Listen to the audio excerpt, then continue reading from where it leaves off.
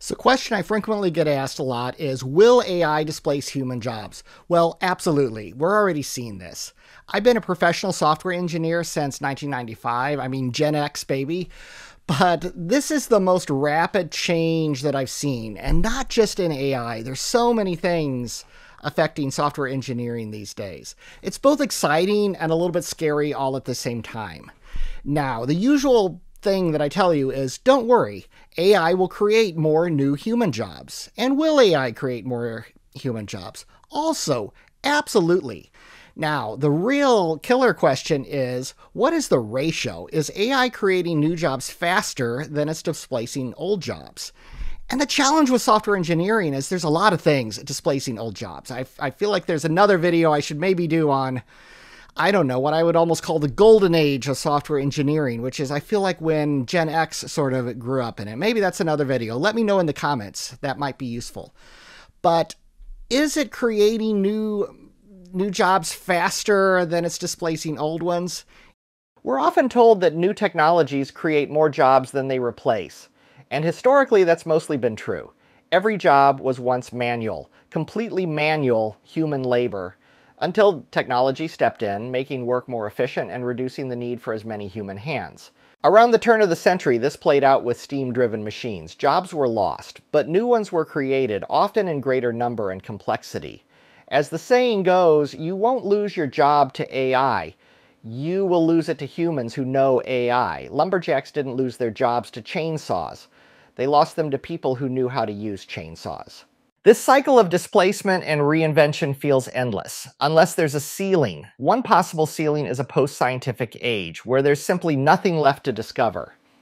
Such an age is a long way off. However, that age does not need to arrive for humans to be replaced, because AI and robotics may not follow the same pattern of machine tools that simply gave more efficiency.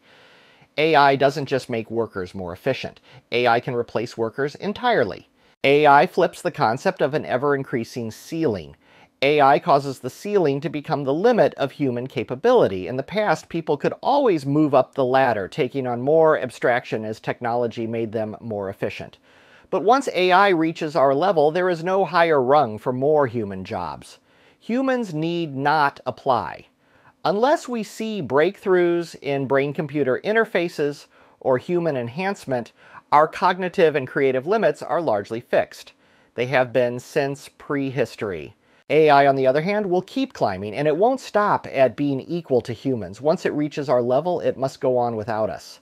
That moment when AI moves beyond us is often called the singularity. Let's just assume current AI is already at 85% of general human capability.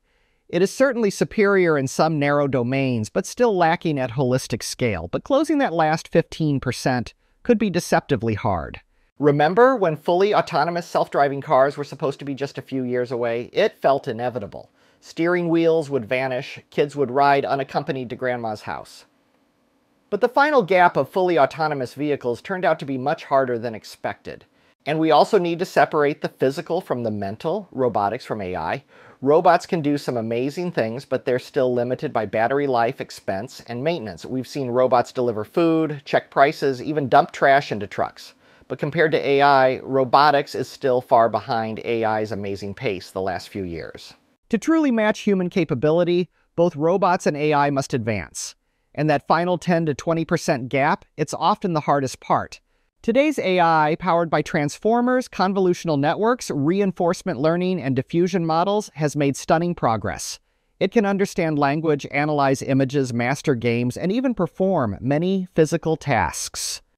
So thank you for watching this video. I hope this was helpful. If not, let me know in the comments. I really, I really enjoy the discussion because I'm not right on everything, certainly. And if you liked it, yeah, I'll do the YouTuber thing. Smash that like button. Let me know. And let me know if you didn't like it as well. And subscribe because I do a lot of videos about AI and just, just where I see things are going and tutorials on how I am using AI for many, many things. Thank you for watching.